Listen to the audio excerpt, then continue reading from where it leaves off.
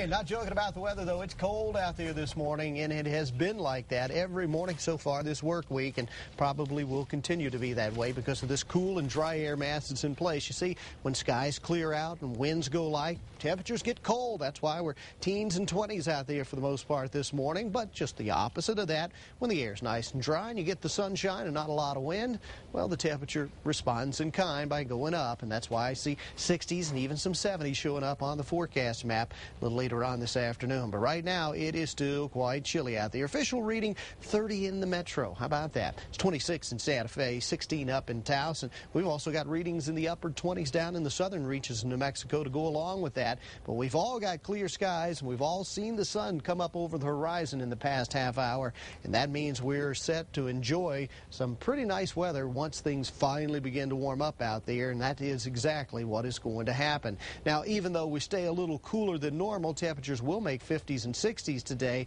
Now, we have this next storm that's going to come in. I'm expecting this thing to arrive tomorrow. It'll bring with it a cool front, but because there's no moisture, I don't think this front's going to really do much other than just got to bring a scattered cloud or two to the sky. Next weather maker comes in over the weekend, will produce snow up in Colorado, possibly up in those northern mountains, which is still good news for skiers, as we talked about. But really looks like that weather system's going to be moisture starved also. Meanwhile, temperatures today 50s and 60s across the north, and the further south you go, the warmer it gets.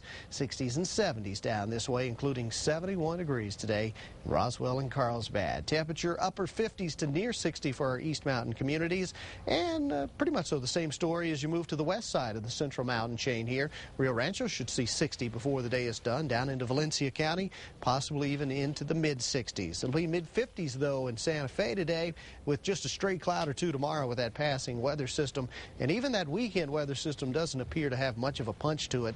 It'll pick up the wind and possibly cool us a little bit, but all in all, I think we're doing okay. Can't wait for 58 or even 60 the next few afternoons. Be patient, my friend.